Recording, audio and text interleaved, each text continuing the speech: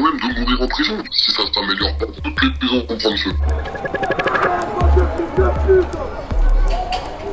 C'est la merde, c'est la merde. Parce que là, on est un peu comme des animaux. On est laissés à l'abandon. Vous êtes combien par cellule normalement Normalement, on doit être deux. Et le problème, c'est qu'on était trois. Il y a des distances un peu entre vous, comment vous faites Il n'y a aucune distance. Hein. Nous, moi, je dors sur le lit du bas. Mon collègue, il dormait sur le lit du haut. Et le troisième, il dormait sur un matelas par terre. Le mec, il dort même, à même le sol. euh, T'es pas très loin de lui. Tu peux même pas négocier. euh, Si tu dis que tu veux rester à deux, tu vas au mitard. T'as même pas de choix, en fait. Dans mon aile, euh, franchement, je te dirais, il y a 75% où c'est trop en cellule. Je, peux pas te dire un cas de coronavirus ou trois suspicions de coronavirus parce que nous-mêmes, on n'est pas tenus au courant de lancement. On a besoin d'être informés de ce qui se passe. Puisqu'il y a personne qui nous informe. Il y a cette peur quand même de mourir en prison, tu vois. On, on voit tout ce qui se passe dehors. On est, on est inquiet de la situation. En fait, on était trois à la base. Il y a un détenu qui a été libéré ce matin, fin de peine. Et en fait, hier soir, euh, mon deuxième co-détenu était clairement en détresse respiratoire, il n'arrivait plus à respirer. Donc j'ai alerté par le biais d'un interphone à côté de la cellule. Et ils m'ont clairement fait comprendre, ils m'ont dit euh, c'est pas le moment, tu fais en sorte qu'il s'endorme et, et on verra demain ou on verra la prochaine ronde. Du coup euh, j'ai appelé le SAMU à l'extérieur avec un, téléphone portable. Et du coup les surveillants ils sont arrivés avec un, avec un chef. Ils ont récupéré le, le, le téléphone dès le début. Ils l'ont ramené euh, au quartier arrivant.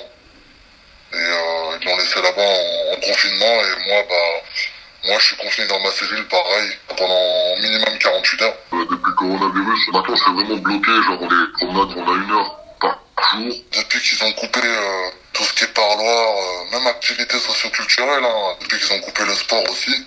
En fait, qui dit couper le, le, parloir, déjà, vous coupez les liens familiaux, et puis il bah, y en a qui font passer leur stupéfiant. Depuis que tout ça a été coupé, bah, en fait, c'est... Ça qui a fait allumer la mèche, quoi. Ça veut dire que ça entraîne encore plus de tension, que moi j'ai vu des scènes de mec qui s'est fait porter dans le bras. Dès le moindre petit truc là, c'est. Moi dans mon bâtiment à moi là, il y a vraiment deux ailes où ça a tout cassé. Ils ont mis le feu dans la cuisine, ils ont cassé tout ce qui était four, plaque chauffante, des bulles de feu aux fenêtres, tout, je Mais c'est tous les jours, hein, franchement, il y a tous les jours une bagarre qui, qui est là. J'ai même vu un combat pendant un bagarre général à côté de la porte, de la grille. Les surveillants étaient derrière la grille. Ils ont vu le mec se faire massacrer, c'est même pas, ils ont dit. Euh, on va intervenir. Ils ont laissé en fait. Il y a eu des morts en Italie. Heureusement pour nous, il n'y en a pas eu en France, mais ça pourrait arriver s'ils continuent comme ça.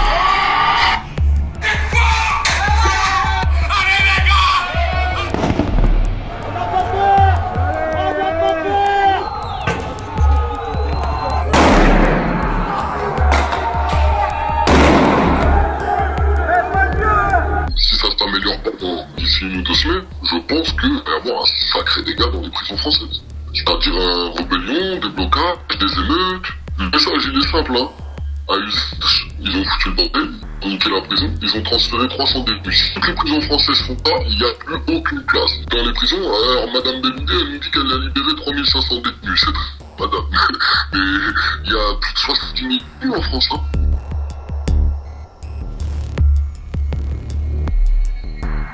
Vous, vous tenez une permanence téléphonique avec des détenus partout en France. Ils vous disent quoi? On a des messages de gens qui nous disent euh, on nous oublie, euh, on, nous laisse crever euh, comme des chiens au fond des cellules. Mais globalement, ce que ça dit, ça, c'est dans une situation de tension qui est quand même extrême. Hein, c'est que les détenus n'ont pas le droit d'expression véritablement. Donc finalement, pour être entendu, il y a malheureusement pas grand-chose à part euh, bah, organiser des mouvements de, de, protestation et des mouvements pour attirer l'attention sur eux. Donc euh, c'est ça le véritable fond du problème. Mais euh, le, le, gouvernement, depuis l'arrivée du virus, a pris des, des mesures à l'intérieur des prisons. Même si on leur a mis un crédit pour qu'ils aient le téléphone gratuit en ce moment, il y a des tensions parce que tout le monde se bouscule autour des téléphones, sachant qu'en plus on a eu des plaintes de plusieurs prisons où les téléphones ne fonctionnent pas pour améliorer les choses, ce qui a été démarré par le ministère de la Justice, c'est-à-dire de favoriser les sorties, mais il en faudrait beaucoup plus pour au moins assurer l'encellulement individuel. Mais euh, mais il y a des, des voix politiques et autres qui disent euh, attention, c'est euh, dangereux de relâcher des détenus dans la nature.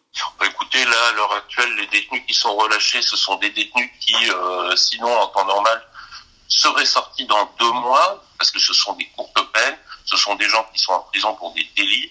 Donc là, c'est du fantasme de, une certaine partie de, des politiques et de l'opinion publique d'essayer de nous faire croire qu'on est en train de relâcher euh, des gens qui vont mettre la France à feu et à sang. On n'en est vraiment pas là. On en est à faire sortir ceux qui, de toute façon, auraient déjà pu être dehors.